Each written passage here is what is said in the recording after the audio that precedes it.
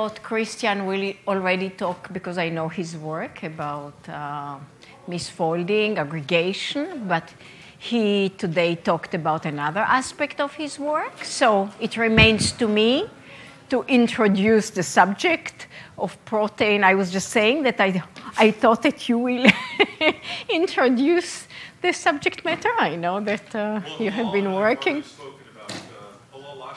Oh, Hilal Lashuel. Okay, I missed the first talk, and you did also. Okay, so there is. I know. I don't need to. Yeah, because I was not here. Right, the first day.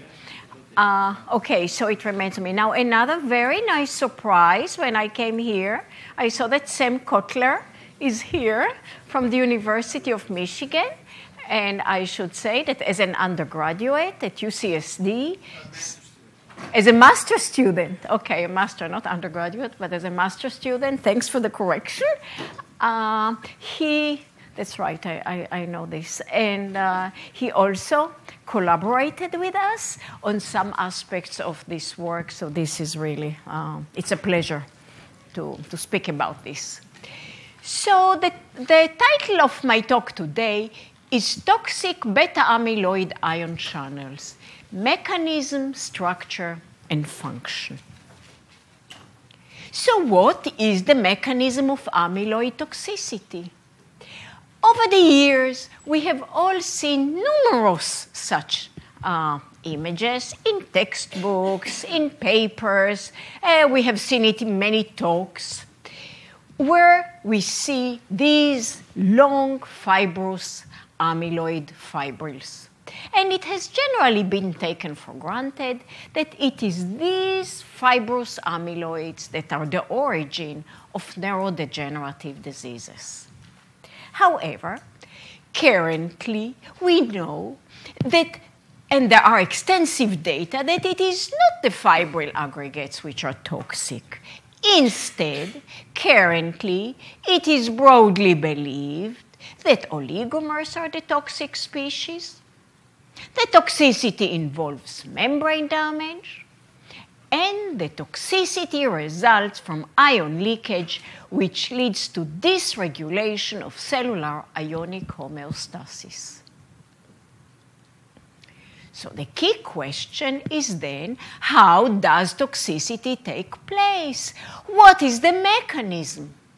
And here there has been a controversy, as it is often the case in science. Some experiments indicated the presence of beta amyloid ion channels, whereas others did not observe any. So there have been two hypotheses for the A beta oligomer toxicity. According to the first hypothesis, small A beta oligomers under 90 kilodaltons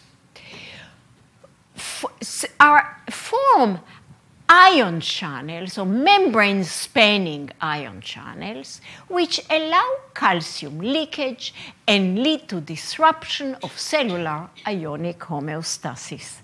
On the other hand, according to the second hypothesis, large A beta oligomers, larger than 90 kilodaltons, sit on the membrane surface, interact with the lipids, especially the lipid uh, head groups, but also the lipid tails.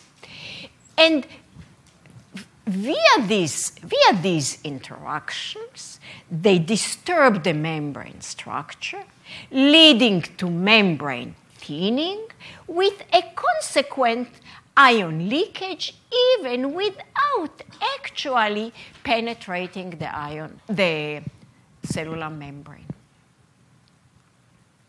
If it is the first ion channel hypothesis, then one would expect to see such spikes in the electrical current. And as you, which relate to the single channels opening and closing. And this, as you can see, has been seen by quite a number of investigators over the years. On the other hand, if it is the other, hypothesis of just disturbing, increasingly disturbing the membrane structure, which leads to just leakage, then one would expect to see an increase, a gradual increase in the, uh, in the, uh, in the current, which relates to the increasing uh, degeneration of the membrane structure. And as one can see, there have been quite a number of papers reporting such an observation. Of later, it turned out that actually the origin of this disagreement could simply relate to the different experimental conditions that has been used by the different laboratories, which shows that not only molecular dynamics, but also um, experiments and experimental conditions. So here, even in the absence of the A beta, just the solvent itself, which has been used for the for uh, sol solubilization of the fibrils, the uh, the hexafluoroisopropanol by itself already disturbs the membrane structure and leads to the degeneration of the membrane and increased uh, ionic um, increased current. So, next, also additional support for the channel formation came from EM, which revealed donut-like channels, and this indeed is by Hilal Lashuel, who was the first author. Then AFM revealed pore-like A-beta ion channels, and this has been taken by Ratnesh Lal and his colleagues. And these AFM images have shown A beta ion channels. Here for A beta 140. Here in this particular image, they observed six subunits. Here again, six subunits. And here for A beta 142. Here four subunits, four subunits, four subunits. And here again, six subunits, six subunits, six subunits. Ratnesh Lal and his colleagues have then carried out more extensive investigation of additional um, of additional uh, amyloid species. Here for A beta 140, we have already seen that. These, ion, these typical ion channel images. Here for alpha synuclein, ABRI, that's the British dementia, ADAN, the, the Danish dementia, amylin and serum amyloid A. For all cases, similar shapes, similar morphologies with these typical subunits, and similar dimensions. When we saw these images, we were quite excited. Now, we, of course, are a computational structural group, so we thought that we could help in resolving this particular controversy. So what we thought we would do is as follows. We shall use the two available solid state uh, NMR-based coordinates of the A beta 1742, which have been deposited in the PDB, and the A beta 940, and we obtained the coordinates of these via personal communication with Rob Tycko and his colleagues at the NIH. Then we shall take these and model channel conformations mimicking the AFM experimental conditions. Then we shall see at the end of the simulations, we shall see, we shall compare the obtained channels' shapes, morphologies, and dimensions that we obtain with those imaged by AFM. So we start with experiment based and we will compare at the end also with experiment based coordinates. So we have done exactly that. So here are the two available sets of experiment based, solid state NMR based coordinates. Here is the, the monomer taken from the PDB. Here, A beta 1742 this has been carried by Lührs et al. from the laboratory of uh, Roland Riek. And actually, they tried to, to get the coordinates of 142, but the first 16 residues were disordered. here, these are, this is the monomer structure that we have obtained from Rob Tycko for 940. Again, one, uh, uh, residues 1 through 8 were also there, but they were disordered. And in both cases, we had the coordinates in the form of a pentamer. So what we then did was to take the middle conformer, replicate it, then bend it to form channel conformations. Now, there are two ways in which this can be done. We can either bend it in this direction, in which case, so we can either bend it in this direction or in the opposite direction, and the resulting channels are not going to be symmetric. Because if we bend it in this direction, we have the charged N terminal facing the solvated pore and the hydrophobic C terminal facing the bilayer.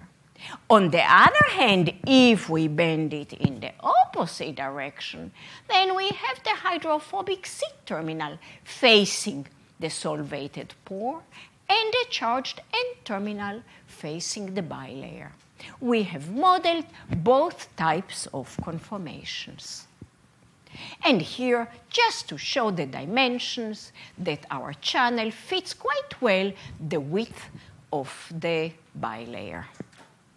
So here is our solvated pore, the charged N terminal facing the pore, the hydrophobic C terminal, in this case, facing the bilayer. Here is just an overview of a simplified overview of what we have obtained. This is the initial setup, time zero. After five nanoseconds, we see that our channels are starting to relax, and we see the beginning of the formation of the subunits. And after 30 nanoseconds, we already see a relaxed structure. So here are the two topologies that we modeled. Here we have the situation where we have the hydrophobic C terminal facing the bilayer and the charged N terminal facing the pore. As we can see, after 30 nanoseconds, the pore is still not only there, but actually it even expanded a little. On the other hand, in the opposite type of topology, here we have, and the reason for the annotation here is the pore. Here we have the C terminal facing the pore, the N terminal facing the bilayer. So here is the initial setup. The charged N terminal is facing the hydrophobic bilayer, and after 30 nanoseconds, we already see that our channels collapse.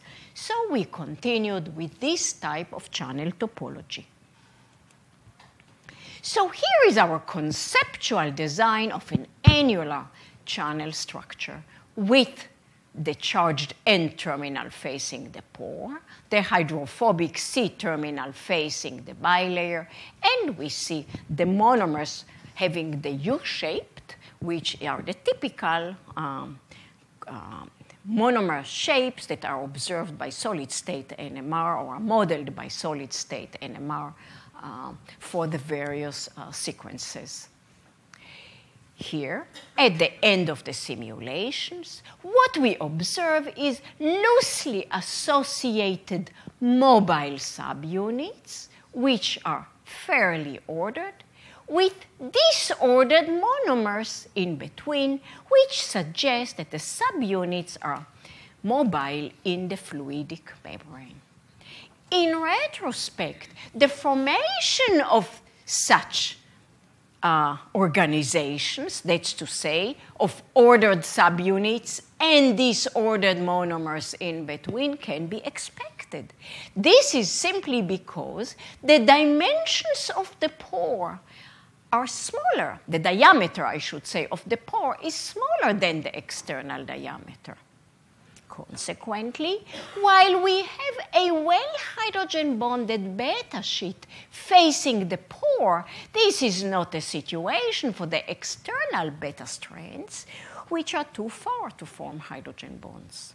During the simulations, what happens is that some of the strands get closer and form the hydrogen bonds, and inevitably, this leads to disordered monomers in between. Comparison with AFM, then, it led it, the, when we, I should say that when we compared it with the AFM, our channels had similar shapes then, similar morphologies, and similar dimensions. So we were quite happy, those AFM images that were published before, we were quite happy to see this correspondence, but not completely so. And the reason is that if you remember, the images in the bilayer that Ratnesh Lal and his colleagues have presented were of A beta 140 and A beta 142. On the other hand, we simulated A beta 1742 and A beta 942. So, and I should say that we extended the 940 to 942. While we can expect the 1742 and 942 would behave similarly to the 140 and 142, we could not be sure. So I got in touch with Ratnesh and I asked him, would he be willing to also look at these particular sequ- uh, sequence lengths at the 1742 and the 942 so that we can compare with the actual sequences. I was very happy when Ratnesh said that he'll be happy to do this. So here are the results, Ratnesh's results. In this case, now for the 1742, again, one can see here four subunits, here five subunits, here again we have the uh, five, sub, uh, five subunits, and here are the four subunits from the simulation. So here we compare, these are the AFM, these are from the simulations. Then we did a range of sizes. So here we did, so those were in for 24 mers. Now we did also 16 mers. That's to say the number of monomers in our channels. Here 16 mers. Here we had four subunits. Here again four subunits. Here 24 mers. Here we have four subunits, five subunits, sub five subunits, and Ratnesh's and his group, four subunits, five subunits. That's for the 1742.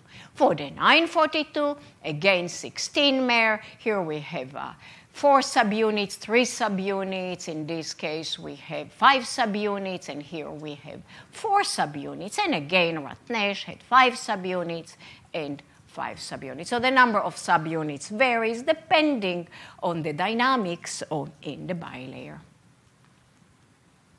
Then we started looking at the literature. And what we found out was that actually the 1742 and not quite the 942, but the 1142 are formed in vivo. So we have the alpha secretase, which cuts it at position 17. The beta prime secretase cuts it at position 11. So those two channels that we have simulated actually exist in vivo. So the two Experiment-based coordinates relate to in vivo peptides. Here, for the 1742, in the literature it's called P3. It is formed in vivo by the alpha secretase, and it forms plaques in Alzheimer's and in the Down syndrome.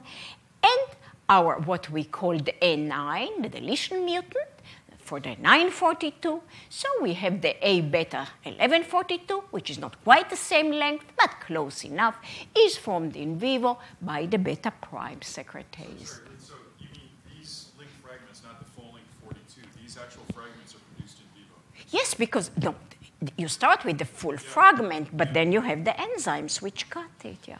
So these two fragments, and then I met Rick actually in the symposium that you organized, and I told him he didn't. He was not aware of this. Yeah.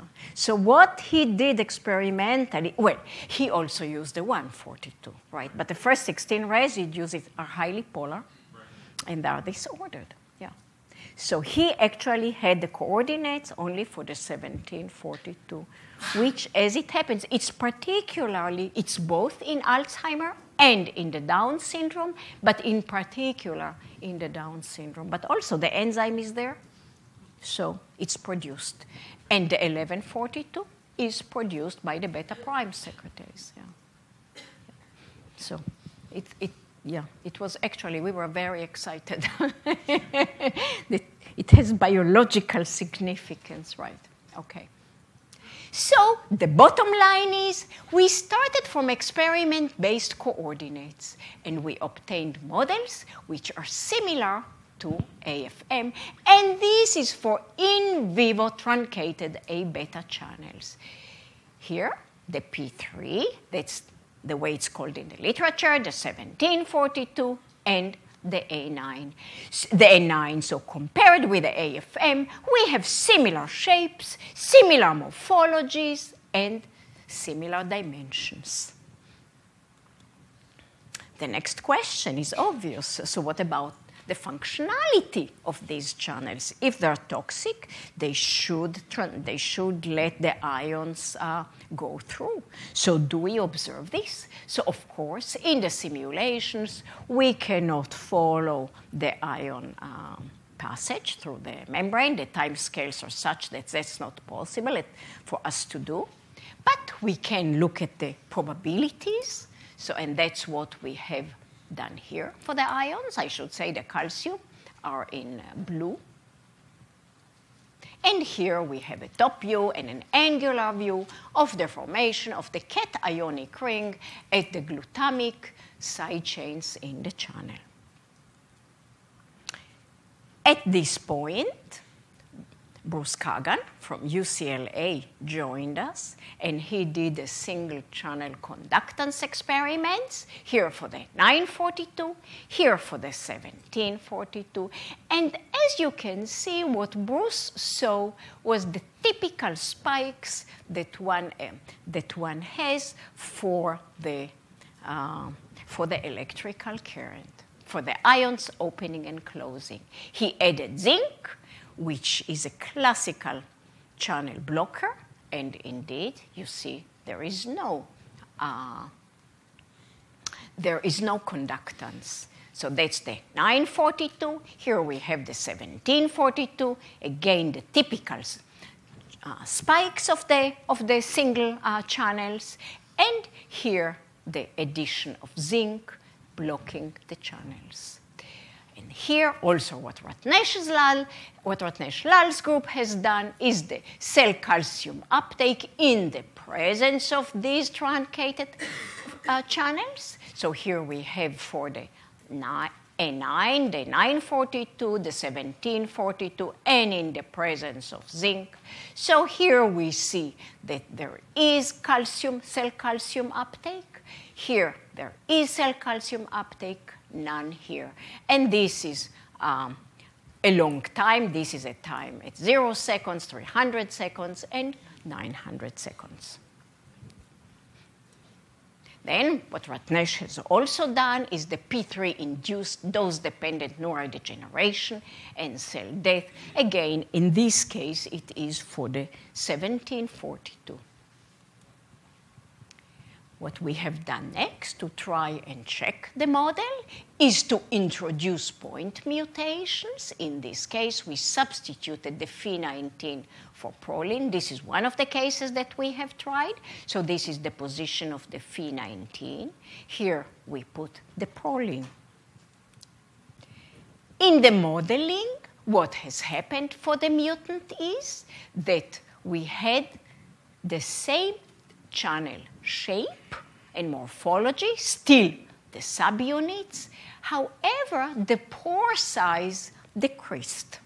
It's not surprising. we have a proline in the beta strand facing inside. Ratnesh, his group has done the experiments of the AF, here are the AFM images of the mutant. Again, similar, the same shapes.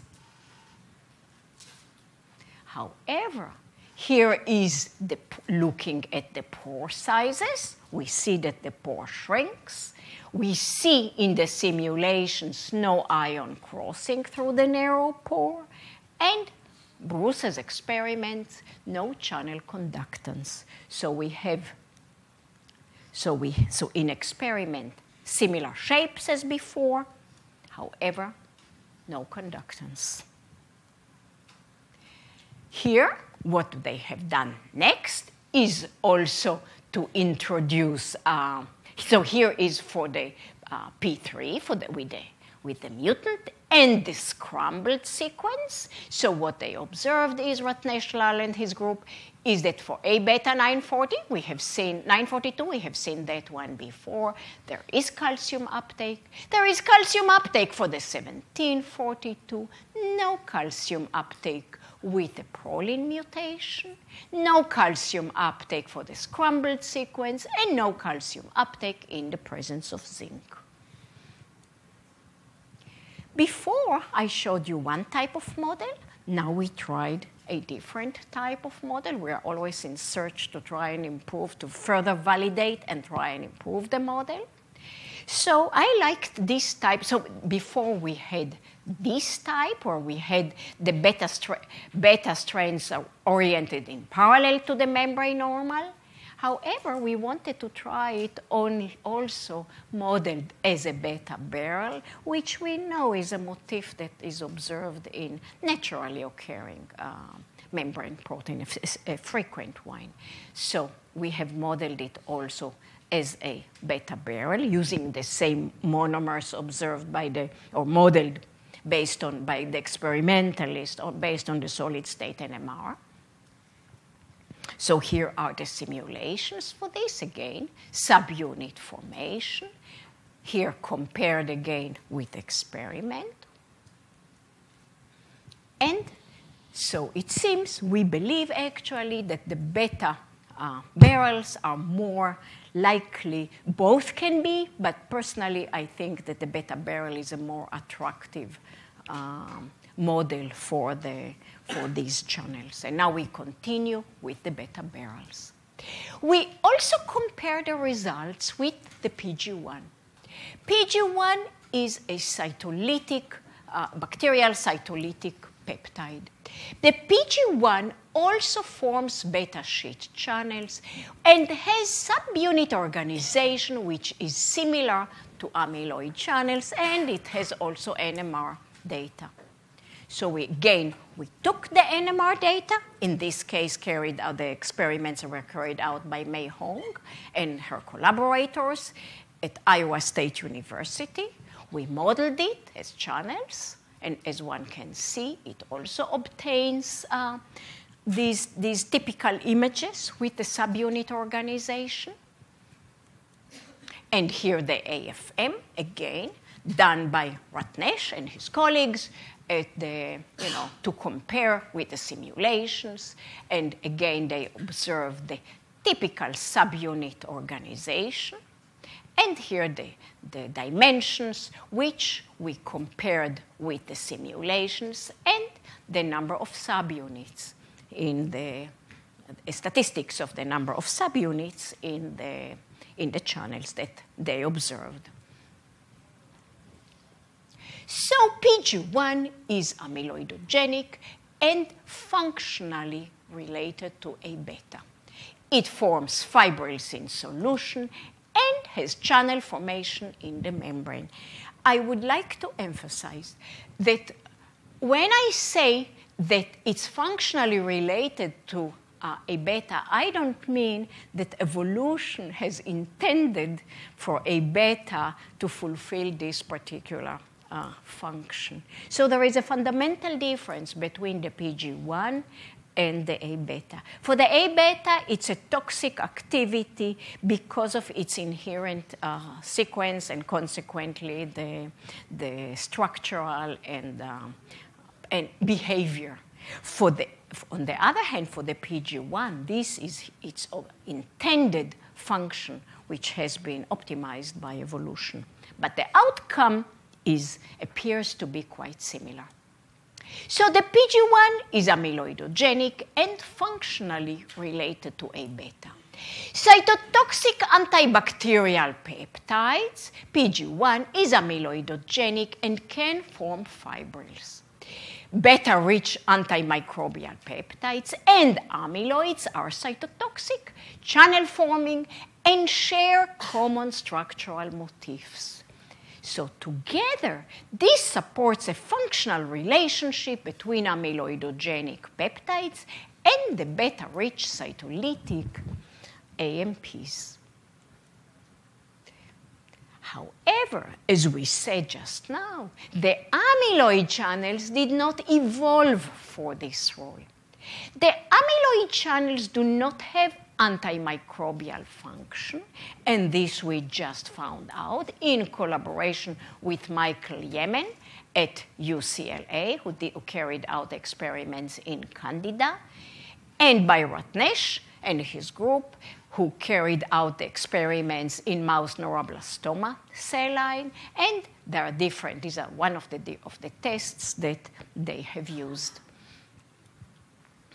Compare then the toxic channels versus the, the, the functional, the physiological channels. Here we have structures of conventional uh, regulated ion channels, calcium, calcium gated, potassium channel, voltage dependent channel, the aquaporin water channel, as one can see, they are quite different. So here we tabulated what are the differences between the toxic ion channels and what we call the conventional physiological ion channels. For the toxic ion channels, they are disease related channels. They are mostly beta sheets. In particular, they are heterogeneous channels. So we have a population of, this, of these channels. They are a metastable state. They are short lived. They may have ion selectivity.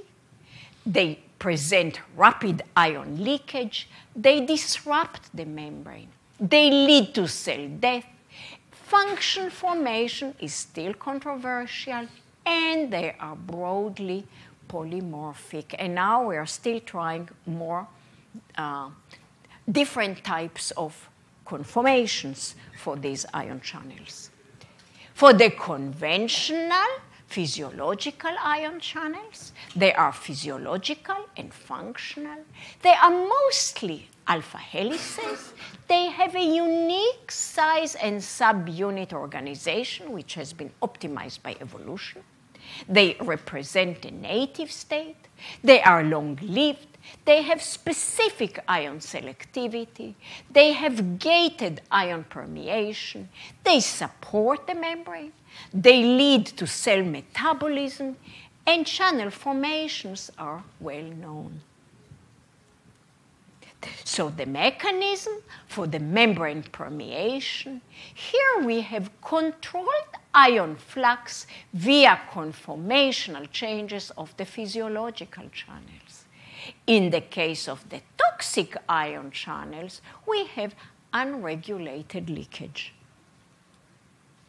So to come back and enumerate experimental tests of the model channels, single channel conductance and zinc blocking, AFM of a mutational variant that we predicted to form channels but not to conduct, cell calcium imaging of the A beta fragments, the variant, and a scrambled peptide, and a P3 dose dependent AFM and immunofluorescence imaging. And we are trying now, obviously, more mutations. What we have then tried is to see there has been a discussion in the literature is it receptor dependent or independent? So, what we have then done is to uh, is to both in silico, first in silico, then in experiment, is to construct an all D A beta, in this case already of the 142, which is what we are focusing on now. So the all D A beta the reason for choosing an all D is that if, it, if channel formation is mediated by receptors, one would assume the receptors should be specific and they would not recognize and bind to the L, to the D, to the old, to the old D peptides because they're naturally occurring amino acids we know are L residues. So here are the model channels. These, they are mirror images. And what we observe is the toxicity may also be via a receptor independent mechanism. That does not, we see the same behavior, channel formation, conductance in the all D as in the all L, which does not mean that the channel formation is and toxicity is not mediated by, the by receptors, but it but what it does mean is that it may also happen independent of the, uh, of the receptor. This was this uh, calcium influx? There was calcium influx, yeah. We, we published this, but I don't have the slides of this, but it's all out. For the AFM and the calcium flux, yes. So it suggests that they are toxic, but of course we cannot rule out, right, that uh, there is also media- mediation by the receptor. Yeah. So here is the slide that Hyunbum in the group created, uh, you know, of mirror. So the acknowledgement, Hyunbum Jang at the NCI in the group carried out all the simulations. Ricardo, Fernando, and Srini all were with uh, Bruce, I mean with Ratnesh. Now Ricardo has moved to another group at the UCSD Bruce Kagan at UCLA, who did the conductance, Ratnesh Lal at UCSD, and now also Michael Yeaman, and I should say Sam here, who was involved also in the, in the I think, imaging of the one, is it 142? I think 142, right? So in the in the conductance, so Sam collaborated with, uh, worked with Ricardo, and also with Michael Yeaman I mean, to, to get to with the all the experiments and Ratnesh Lal himself, and of course our group at the NCI Frederick. And if there are any questions, I specifically left uh, time for uh, questions.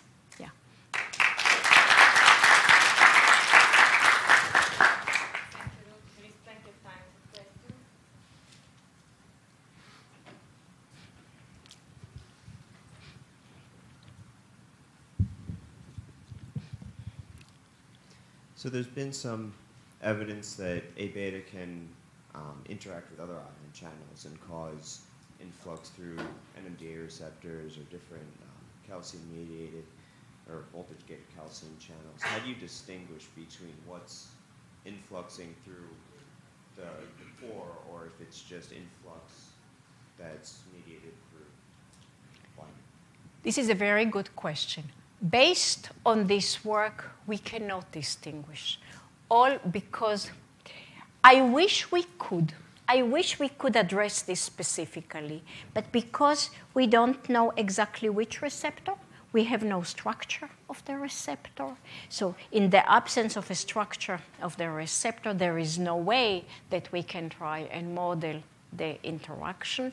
And any attempt to do this, I think I would be very leery about any results, you know, that we obtain from this. So I cannot comment on this. All I can say is what I have said is that it can be also unmediated, at least in vitro and in silico. I, as to in vivo, in cells, in the presence of the, of the receptors, it's perfectly feasible that most of the time, I mean, it does occur mediated.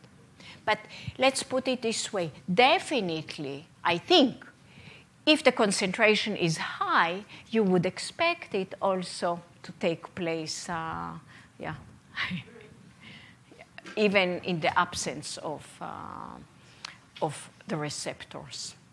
I don't know, but even if there are such receptors, I don't know the, the concentration. I mean, how many of these. But I saw that Sam had a very nice poster on uh, Tuesday night, right, where he showed also the, the I mean the, the behavior if you have the, the fibrils and the behavior what one may expect. So these channels are based on the insertion of very small oligomers. Under high concentration, the equilibrium, it's quite likely, shifts toward the fibrillar shape, right? In which case you can still have different types of uh, occurrences, yes.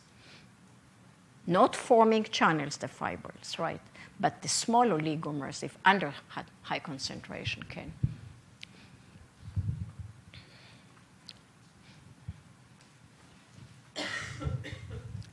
Hello.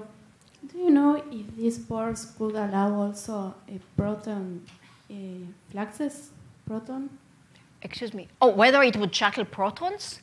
I don't. I. I get it's. I don't.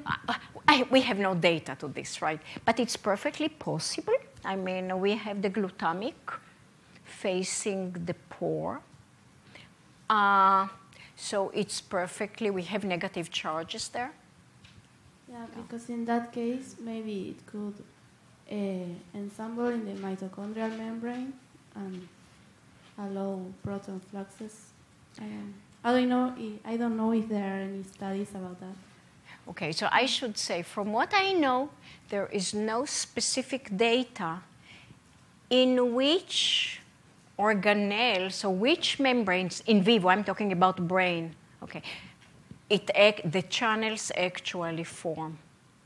So that is a big unknown. We suspect it's mitochondria, but there is no. But we know the channel formation, this behavior is certainly dependent on the membrane composition. This is, ex- this is expected. It depends on the interactions, right?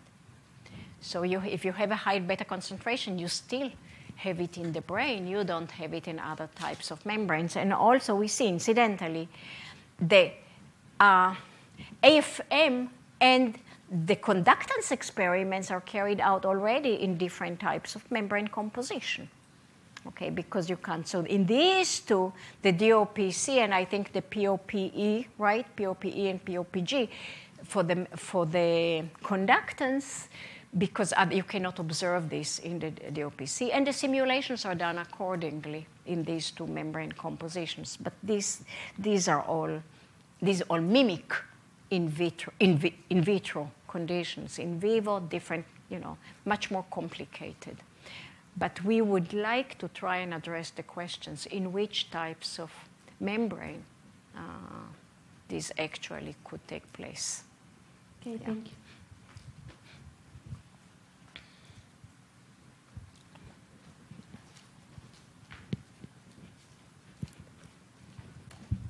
So from the from the structures that you have um, uh, modeled, um, do you understand the zinc effect? The zinc does. We don't see. Okay, we cannot follow the zinc through the bilayer because, as I say, we don't have the computational facilities that David Shaw has, so we cannot follow this. Um, so I cannot say from the probability we cannot say, you know, whether there is. And also, these channels are, are very mobile. So I, it's quite possible that there are some minor conformational changes so, that so take did, place. Did Ratnesh look whether in the presence of zinc one still sees the pores? So the AFM is not done in the presence of, mm-hmm. of zinc. Mm-hmm. The, the presence of zinc is only done for the, for the calcium uptake mm-hmm. and the conductance but not the AFM. Yeah.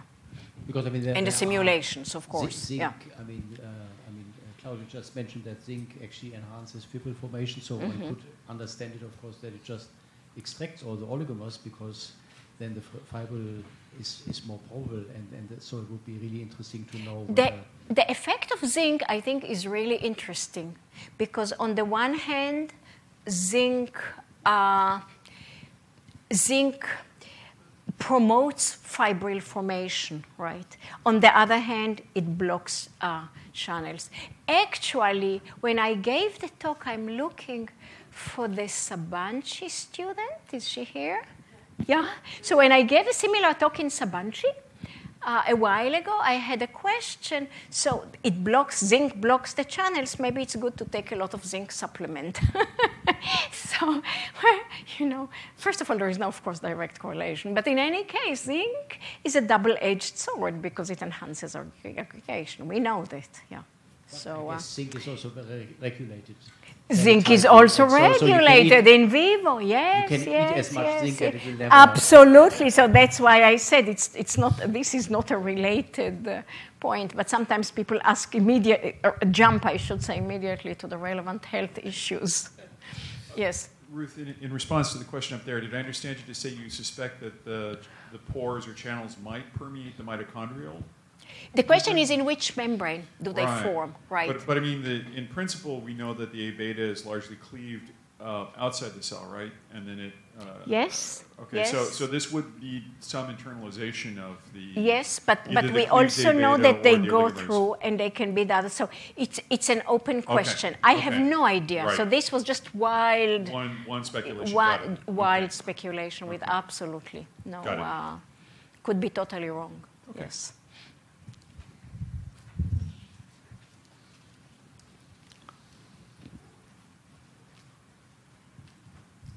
So Ruth, I wasn't clear about in, in the uh, ion channel experiments. Were those with reconstituted uh, membranes? Yes.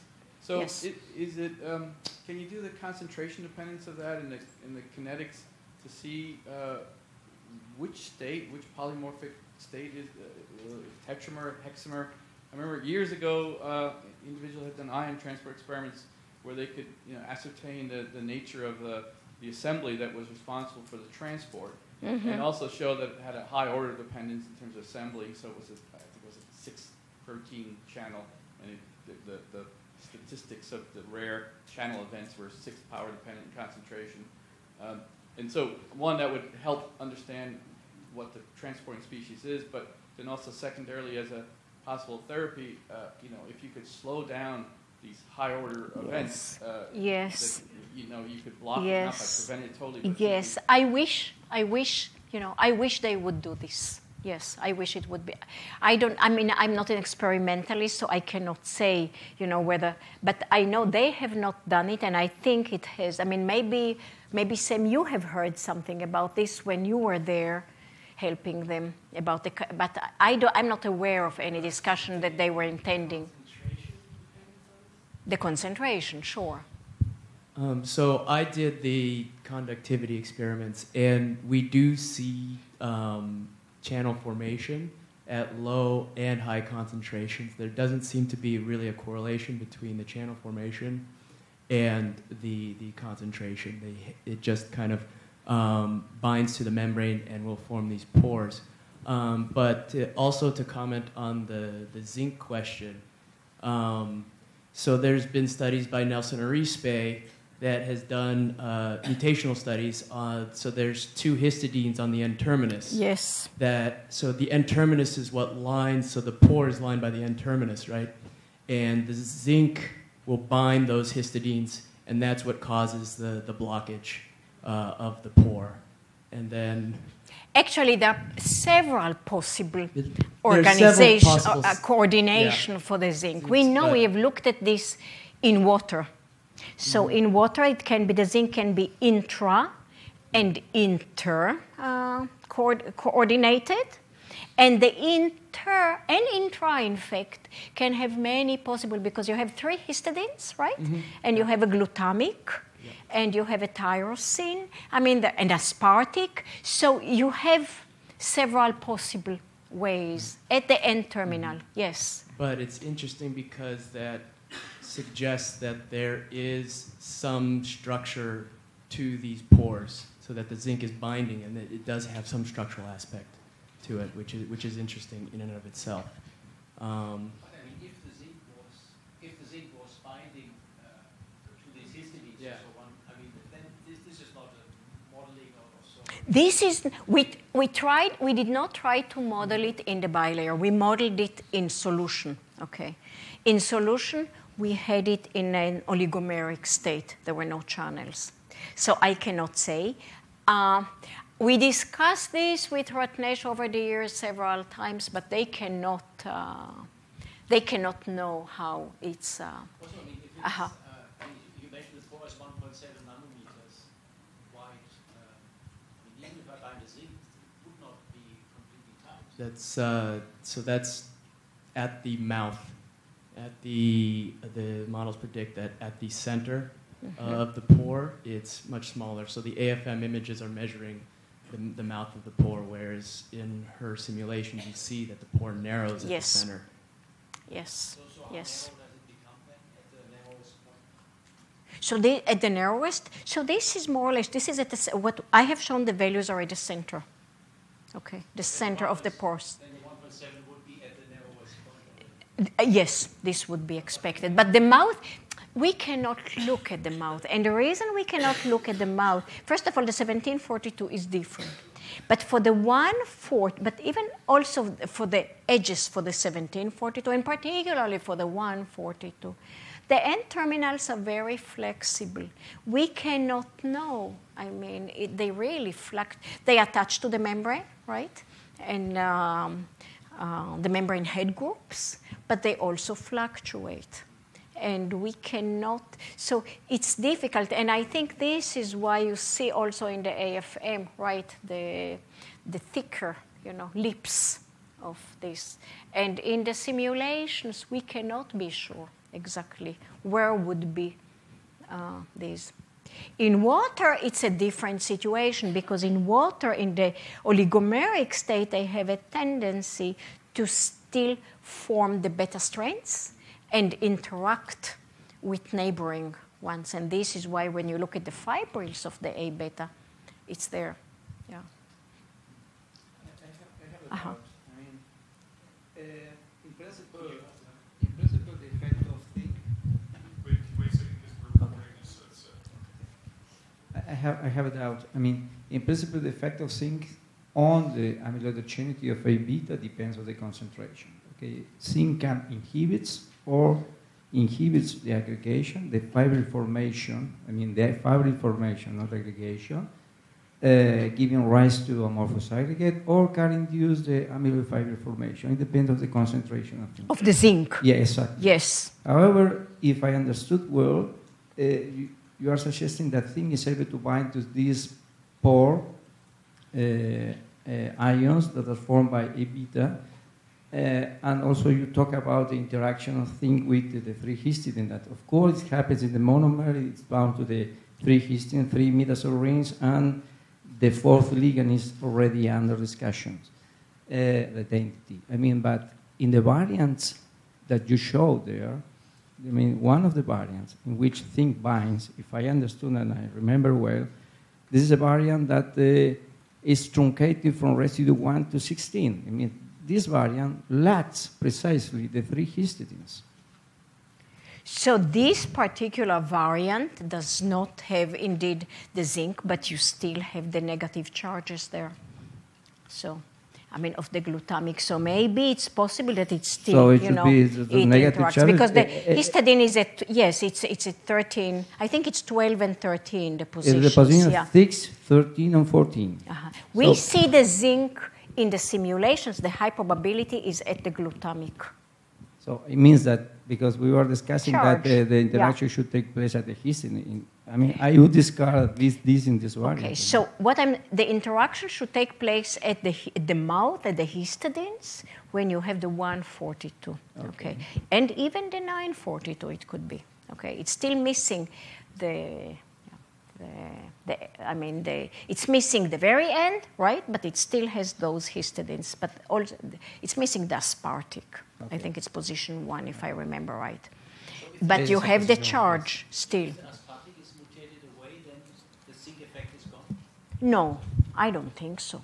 I shouldn't think so because you still have the histidines and you have the gluten. No, but in, in the 17 to 42, yeah, are gone. you still have one- you still see it blocked. If the aspartic, if the aspartic and the histidines are not there. And I think the reason is the glutamic. That's what I mean. So where the experiment shows so the then if one conductance. mutates this glutamic away, then the zinc effect is gone. That has not been done probably. we are playing with this, Mm-hmm. okay, but what we could see is that there are still negative charges. Even if you mutate the glutamic, what happens is you can have a, sh- I mean, the, you still have a charge in the turn there. So we still see this. Yeah.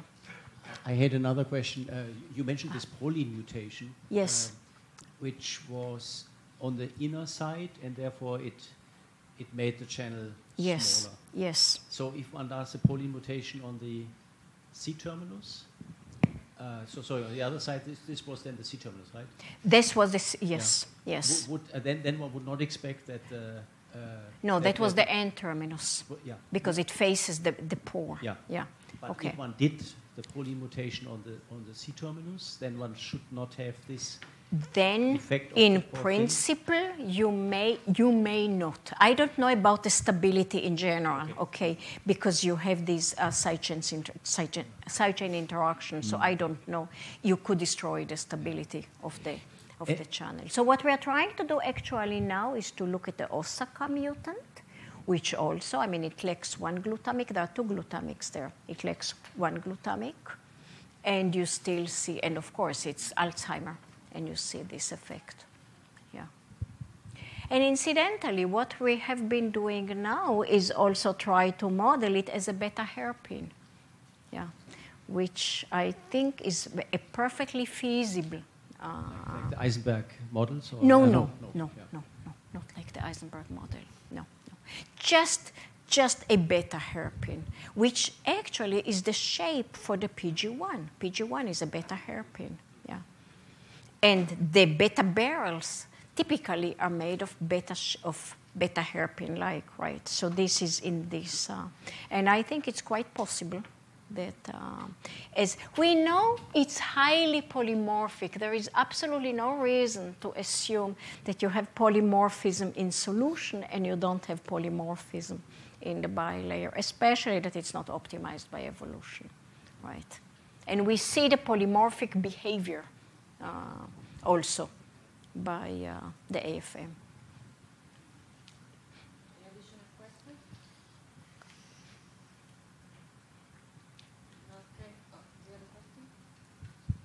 Thank you again. thank you